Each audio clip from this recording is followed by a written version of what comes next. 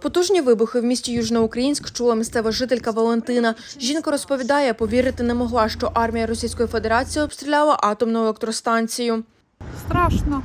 Ну, як е, думають е, російська е, держава, я не знаю, тому що це дуже небезпечно та серйозно. Проснулася серед ночі, це було десь перший час. Діти також проснулися, оділи дитину і коридор. Керівництво Південноукраїнської атомної електростанції розглядало ймовірність атаки російськими військами території АЕС. Персонал станції готовий до надзвичайних ситуацій, в тому числі до збоїв в енергосистемі, повідомив генеральний директор АЕС Ігор Полович.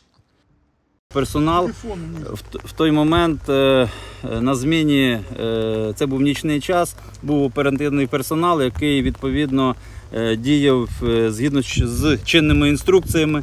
Е, В даному випадку е, відбулось відключення лінії електропередач, тому е, персонал е, електричного цеху реєстрував і діяв відповідно до того, як відпрацьовували алгоритми е, самих релейних захистів, і співпрацювали з диспетчерською службою Російська ракета влучила за 300 метрів від периметру, де знаходиться один з реакторів, розповідає заступник генерального директора Іван Жебет. Внаслідок прильоту пошкоджено лінію електропередач. Не дай Бог, щоб вона прилетіла нам на територію прямо. Це за, за межами, заборонене за межами самої атомної станції. От, ну, які будуть нас, були б наслідки, якби вона попала у нас, то це можна трудно, трудно сказати. Да.